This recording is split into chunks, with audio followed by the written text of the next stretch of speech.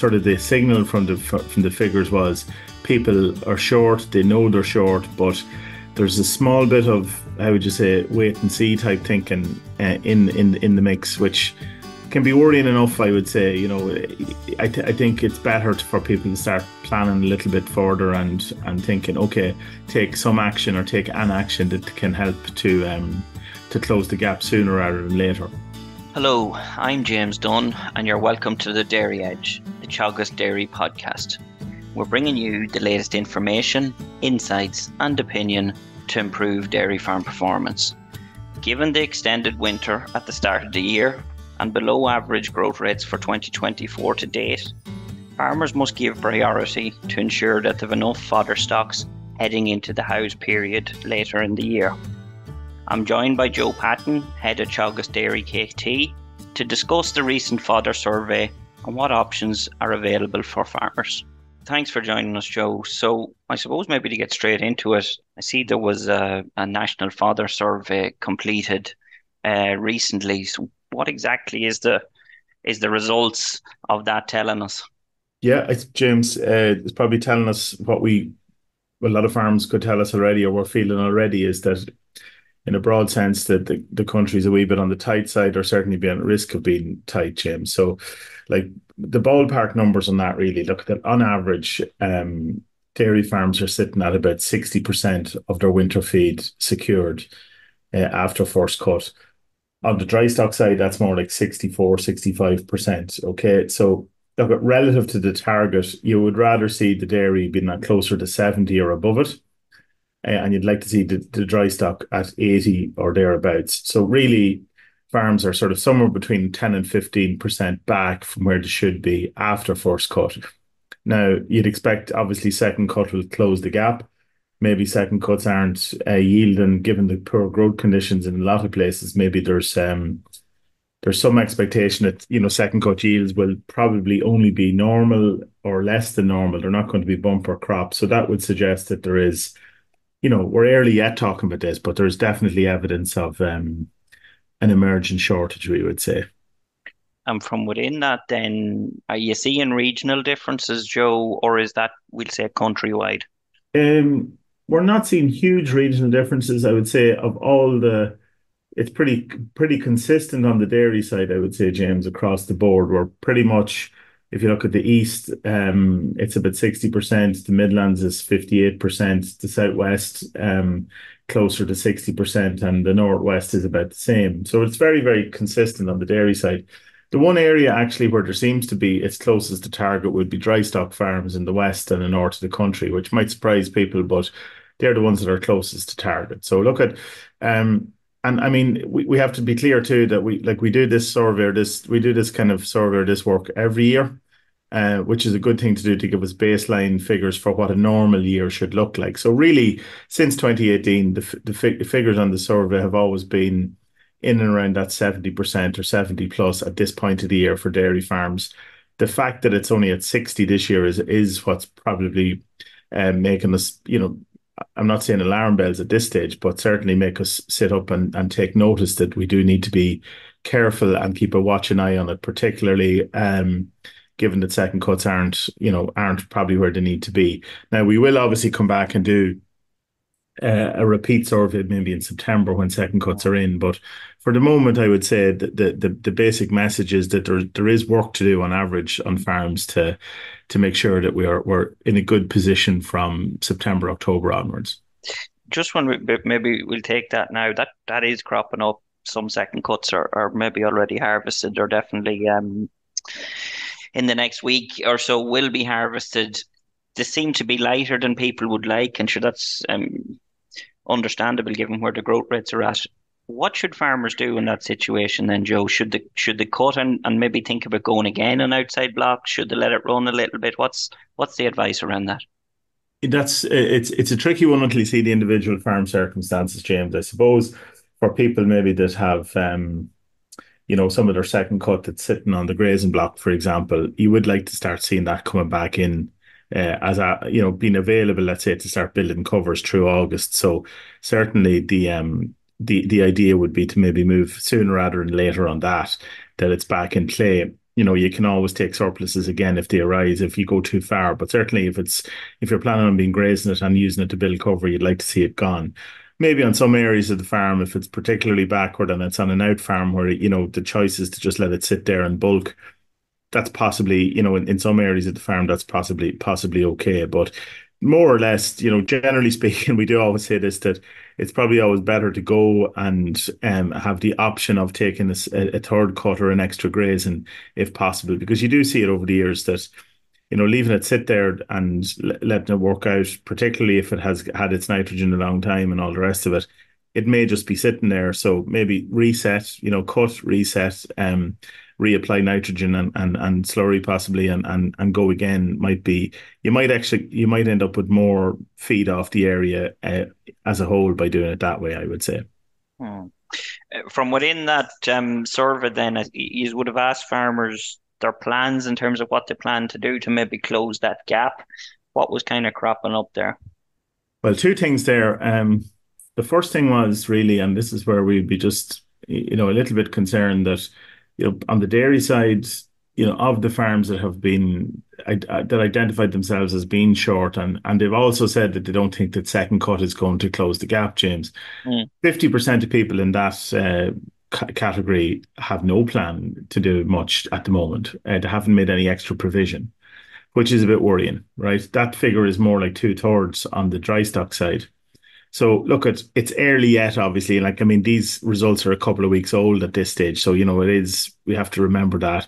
But at that point in time, the idea was that, or the sort of the signal from the from the figures was, people are short. They know they're short, but there's a small bit of how would you say wait and see type thinking uh, in in in the mix, which can be worrying enough. I would say, you know, I th- I think it's better for people to start planning a little bit further and and thinking, okay, take some action or take an action that can help to um to close the gap sooner rather than later. And like we did ask for people that if they have implemented any options, like what is it going to be? Like five or six percent are talking about forage crops, maybe ten percent are talking about maize or whole crop. Most people are talking about renting you know, or not renting, but certainly bringing more ground in, more grass ground into the mix. So maybe either buying silage or buying bales from neighbours or bringing extra ground in uh, for a cut.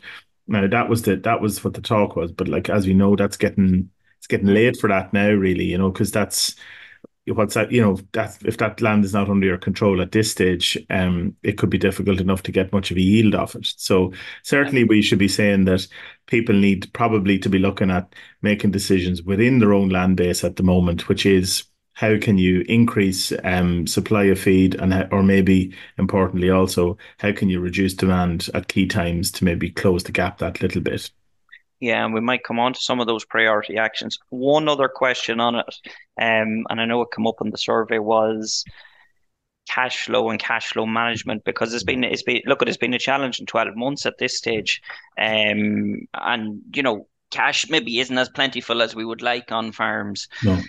Any comment or just what should farmers maybe be doing? Because if, if if there is fodder to be bought it has to be bought and paid for joe which maybe wasn't factored in earlier in the year. 100% and look at I suppose when you pick through the numbers and averages can hide a lot of things, James, but there was definitely when we were looking through the numbers, now we didn't present present it in this way on the days of the, the, the committee, but there is a fair degree of crossover between the farms that are saying that they haven't done anything yet and farms that are saying they're going to have a cash flow issue. So like I fully take the point. It's okay for me to be saying, you know, from where we're sitting, you need to go and do something, but going and doing something if, it means putting extra feed in the yard or on the farm, that's that has cash implications, obviously. And maybe cash is the thing that's, you know, limiting people from going and do something. You know, and that's a worry. Like that is certainly a worry that we have to. So part of the planning for um for closing the gap on feed has to take the cash flow implications into account. About 38% of dairy farms that responded and about 30% of dry stock farms actually said they would have seen or expected a cash flow issue to arise uh, from the feed situation. So, you know, it's, it, you know, when you, when sometimes we undervalue the silage in, in our own yard, James. I suppose when you start to think about having to go out and replace it or buy it or fill up a gap, then the true value of the feed reserve is really shown in cash terms. You know, it is the old saying is true. It is money in the bank. Like, and um, we would just encourage people if they're feeling that bit, if the if the concern is there that you know I know I need to do something, but I'm not sure how I'm going to do it because from a cash perspective, you know, come and talk to us and we'll try and you know work through it. And sometimes sometimes addressing the demand side of the equation on farms like that might be might be something that could be more useful in the short term. So if there's very lowly or poorly productive stock in the place, for example, and you're short for cash, you have to ask the question, which is the lesser of two evils, really? Which which side of the equation should you address? And oftentimes demand is where we should be we'd be looking at. So what you're saying there is some farmers that find themselves in a in a fodder deficit should be looking at considering um, selling some surplus stock or culls now. Yeah, yeah, but look, at I think that goes for all farms, not just farms and, and not just farms that are in a cash flow bind. You know, it should be always looked at that the economics of it are going to be similar whether you're short of cash or not. It's the value of retaining the animal versus the cost of buying the feed. You know, it's the value of what they're going to give you by retaining them versus the cost of the feed you have to buy to keep them. And we'll say if they're normally sold out in, we'll say November, mid-November, Joe, the difference in selling them now in early August. Yeah, but you're luck you have you, you must say that cows are eating, you know, a mature animal. No matter what they're doing, they're they're doing 15, 16 kilos of dry matter per day, James. You know. Um, half a ton a month, isn't it? Yeah, yeah, and that's I suppose it's easy to forget that that you know they're eat they're it's you know if you're if you're block if you're cutting the feed out of the pit face and putting it in front of them, you'd see what they're eating a bit easier. If you know what I mean, it's just it's a funny one on grass. You'd wonder how much you would save, but any farms we've talked to, speaking to a few there lately that you know the trimmed out, and I'm not. We have to be clear here. This is a tactical this is a tactical decision, right? It's not a decision to say we're reducing our overall herd size or anything like it. It's really about taking the decision to cull animals that you have already decided you're going to cull, but just culling them that bit earlier. Okay.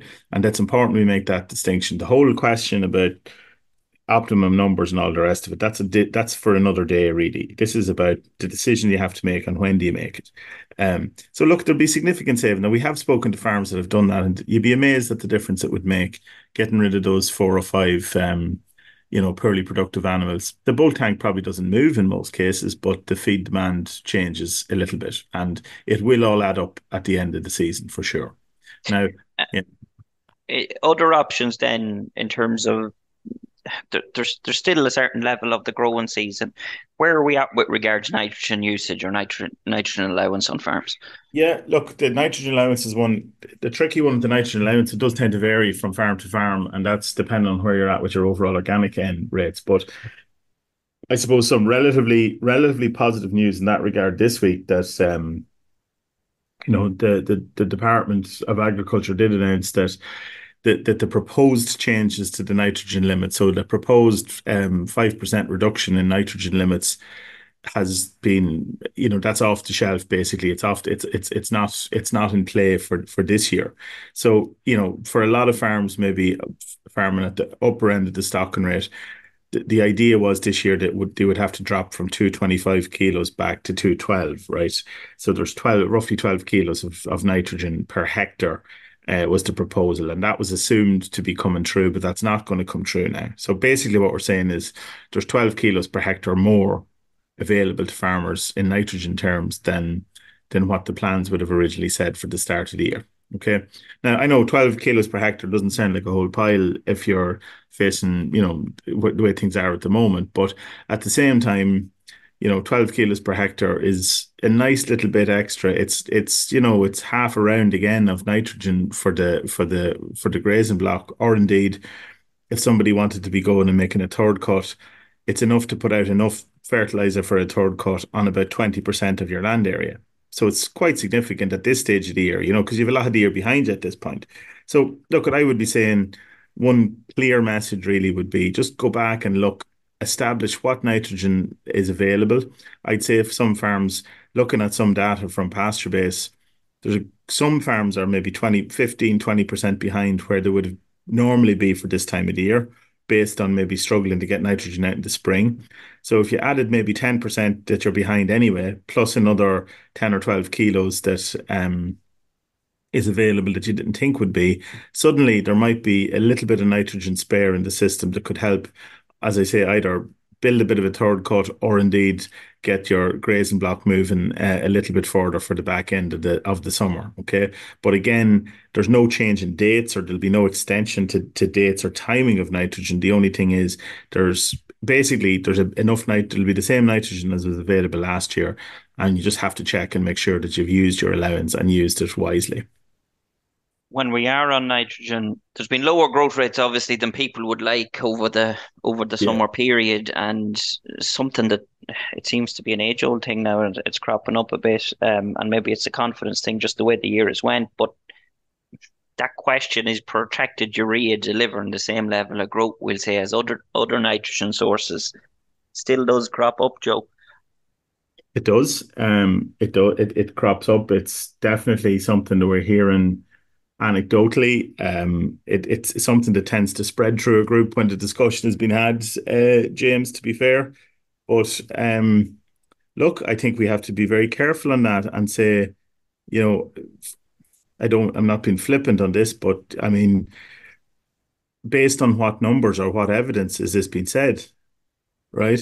Like we we we do have a lot of anecdotal stuff being talked about uh, that well, I changed uh, and I, got a better response, or I got this, or I got that. But there has been week to week variation in gra- grass growth anyway. Some a couple of weeks ago, grass growth came up and went back down again there. So depending on where you are in the country and the rainfall and all the rest of it, it's been a weird year. Like I mean, go and look at the Met Éireann data from from Moorepark, from Ballyhaise, from Johnstown, and from Corteen. I looked at those there lately you know, the, the rainfall in, in June, even though it was cold, June and July, the rainfall significantly behind uh, the long term average.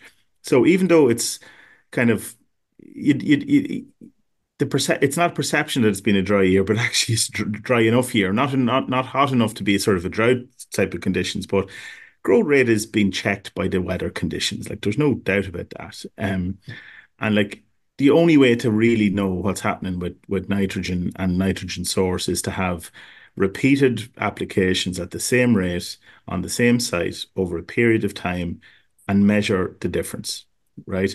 Unless there's a control like that, you can't really be saying whether it's up or down based on the nitrogen type.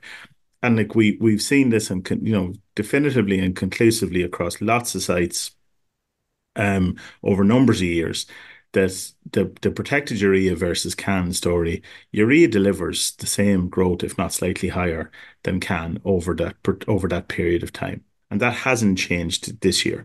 We are seeing a weather effect, and possibly some farms this year have been trying protected urea for good reason and fair play for, for it. They've been trying protected urea this year. And maybe because of the year that it's coincidental with a bad grass growth year, it might feel like that it's not working right? Now, I was looking there the other evening at uh, a farm that's um, farm in the northeast that has used protected urea over a number of years at this stage. Last year, up to this point last year, they had grown 7.3 tons dry matter. This year, they have grown 6.1. So there's about 1.1, 1.2 difference in, in tons difference, right? They've used protected urea in both of those years, right? So there's no difference in fertilizer type, no real difference in fertilizer rate, yet there's over a ton difference in dry matter production. So are we saying that protected urea worked last year but didn't work this year? I don't think so. And the final point, and the one thing I would add to that is, you know, lots of farms are still using CAN this year, okay, and still continue to use CAN for their own reasons. Are we seeing um, a massive growth rate on the farms using CAN? I don't think we are you know, if it was a if it was a fertilizer type question, we should be able to drive through the countryside and say, "Oh, there's a farm using CAN. That one's using urea. That one's using CAN," because there'd be a big difference in growth rate. We're not seeing that. So I don't buy it, and and it's not that I don't buy it; it's that the data does not support it in any way. I think we have to be careful on the hearsay, and you know, I would be thinking we just have to we have to we have to look at the numbers and see that the numbers are telling us that it's a weather effect. Really, it's still a big effect, but don't be blaming the wrong thing for the issues that's happening at the moment. Very good. One other thing that is upon us, uh, it's not very far away, is that, and you mentioned it, building cover, and we, we were heading for August, and um, to talk about building cover and extended extending the grazing season, which is is always important, but we always seem to miss the targets. It's maybe more important this year than ever, given the fact uh, the winter feed supply. But it's a challenging one, Joe, in the fact that really to do that we have to do something either you know drop demand and the question that is popping up is some some people often fed silage, um, high quality silage, maybe for a couple of weeks. Um, that isn't a live option on a lot of farms. So, no. what should people be looking at this year in terms of trying to ensure that they do build farm cover? It's a it's a tricky one, James. Now, like we, you say that we in recent years we've been struggling to meet to to build cover. That is true, right? But why did we why did we manage to do it years ago and not do it in the recent years? What like what is the reason for that? So the what are we talking about here is why do why do we end up in a situation where maybe 10, 15 years ago, farms man more farms tended to reach the average farm cover target in September, and maybe some farms are struggling a bit more to reach those targets at the moment. Like what's the bit what's the difference really for those farms? And a lot of the difference is probably down to the great is down to to to grazing stocking rate, I would say. So years ago, when your second cut was taken and your second cut area came into the mix, it was you, you almost got there by accident. Like I think people built cover years ago. On some farms, it was very much planned, but on other farms, it just happened by default, James, because there was extra ground came into the mix. Would that be fair? Now, now this year, now in this stage, if you don't have much grazing ground to come back in, or maybe the, farm is stocked at over three livestock units per hectare, there isn't much. You know, the option of bringing in extra feed from bringing in extra silage ground doesn't happen to the same extent. Makes it much harder to build cover, and that means having to go and do something about it, as in supplement a bit extra in in August, I suppose, to try and drive it on. I do think that there are stocking rates. There's a certain level of stocking rate at which building cover becomes very, very difficult indeed. You know, you're really into a situation where you have to almost accept that you're not going to get to the high stocking rate. You're not going to get to the high average farm cover in September. And the, the consequence of that is that you're going to be in the shed from October onwards, right? And that's the that is a consequence of the high stocking rate. Not much can be done about that. But in the middle range, there is uh, there are options there, I suppose, to try and and and do something an additional feed, like if we are talking about putting in additional supplement, unless we get an extension rotation length, I think the danger is always there that we will waste that feed. Okay, we won't get a, a, an effect of supplement. So, for example, rotation length at the moment is probably sitting 20, 21 days. By the time you get to mid August, you'd like to see that more like 25, 26, 27 days you know, adding, you know, adding five to seven days onto the rotation. And then maybe for September, it's up to 30 day rotation. So, in order to achieve that, we have to actually offer less area per day on the farm and make up the difference in supplement. Now, that can be from high fiber concentrate, from a bit of silage, um, whatever it needs to be to get to feed the herd within that within that smaller area, allocation of area um, assuming that you don't have extra area to bring in. So that can be tricky, and I can understand why you know in in in August when maybe it's a quieter time on farm, it's difficult to get your head around the idea of feeding more when there is plenty of grass on the farm, probably, but feeding more in good conditions to have to have grass for later in the year. But it does pay off, I think, in the longer run in order to extend the, the rotation. So, look, at I would say the easiest thing to do for the moment is look at it on the basis of rotation length target a target a rotation length of maybe in mid August of about 25, 26 days and maybe closer to 30 days by the end of, by the end of August, early September. And you're looking at filling in the gaps then with extra feed um to make up the difference then. It's you know, but I would say to be fair and take the point that when you get to very high levels of stocking rate, it can be very difficult to achieve that because the, the amount of feed extra that has to go in is is quite significant, and you'll struggle to you'll struggle to extend the rotation anyway, I would say. So yeah, maybe just one final question, Joe. And it's something that crops up at farm level is um, the idea in terms of stretching fodder reserves. Yeah. What's your advice around that, and, and how much long fiber would you say, or what percentage of actual winter feed do we need in the in, within the farm gate before we maybe start considering that as a as, as a real live option? Well, look, you would be certainly trying to get towards 80% plus, James. And I, I, think we need to be just careful here around somebody. You know, I don't think we should be looking about going into the winter and saying, well, I'm going to stretch with concentrate, even though like the, the ambition or the, the objective at the moment should be to close as much of the gap as possible from long forage, right? A couple of reasons for that. First of all, the, possibly we're looking at in a dairy context, we're looking at you know dry cows that the, the the the additional feed is probably going to be dry cow feed and we'll be keeping our higher quality feed for the milking herd it's amazing what you can get away with. I don't mean that it's you know forage quality for dry for dry cows in good condition can be ordinary enough and you can still get through the winter if you know what i mean. So you can get away with relatively cheap sources. So uh, the ambition should be to try and put as much of that away for the dry cow as possible at the moment the second thing I would say is that experience shows us that in yards that are, you know, you know, in in in most in most yards, the extra work required to put extra concentrate in front of cows during the winter period, particularly dry cows, is very significant. You know, it's much easier to feed a few extra purchased bales than it is to feed two to three kilos of a concentrate mix per cow and have the feed space and head space for them all in the month of December. So I think for the labour reasons, even alone, closing the gap earlier is is important. The peace of mind is another element of that too. That, that you feel that you're heading into the winter with decent reserves in place. On a, at a minimum scale, look at depending on the quality of the forage and all the rest of it, you would, in theory at least, get away with, let's say, 10, 11 kilos dry matter per cow, which could be down as low as seven kilos dry matter of of fresh forage, um, of fibrous forage, let's say seven to eight kilos, something like that. But as I say, I wouldn't like to be heading into the winter with only a budget of seven kilos per cow per day in the yard for the entire winter period. Experience tells us that people move through that forage quicker than they plan.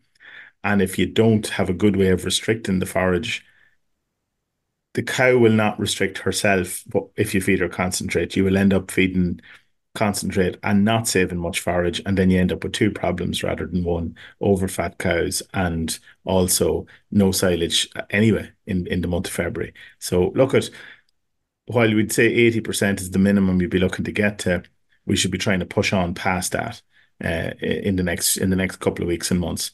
You know, we often say this that. Uh, a 15 or 20% shortage in in um, feed at the start of the winter will be a 100% shortage next February and March, and we certainly don't want that. Okay.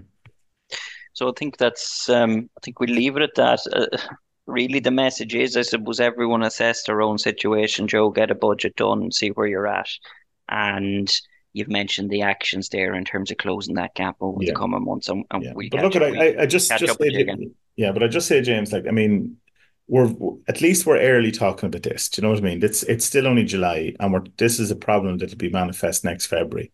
And I hope that by next February we're saying that was, you know, there was no there was no need to be talking about it because that proves that the situation was was resolved it's early yet. There's plenty of options for people to to take, but we just need to make sure that people take some action or take some option, right? And it's been a tough all year for it's been a tough all year for for for you know dairy farmers, for dry stock and tillage farmers. The whole lot has been so, and it's really a weather, it's a weather and a growth rate effect is what it is. So look at a bit of extra planning, have a chat about it, talk to your group, talk to your advisor, do your bit of do your simple sums and see where you're fixed. And I think even that alone is a great start. You know what I mean? And come and talk to us, and we'll try and we'll try and do something around getting some numbers on the page. But I, I think waiting to see what happens is probably what we're trying to make sure people uh, don't do because that's not going that has never worked in the past and it's not going to work next spring either. Very good. Thank you. That's it for this week's episode of the Dairy Edge podcast, and my thanks to Joe Patton for joining me on this week's show. Don't forget to rate, review, and subscribe to the podcast. You can listen on Apple, Spotify, or wherever you get your podcasts. And for more information, go to the Teagasc website at teagasc.ie. I'm James Dunne, and join us next time for your Dairy Edge.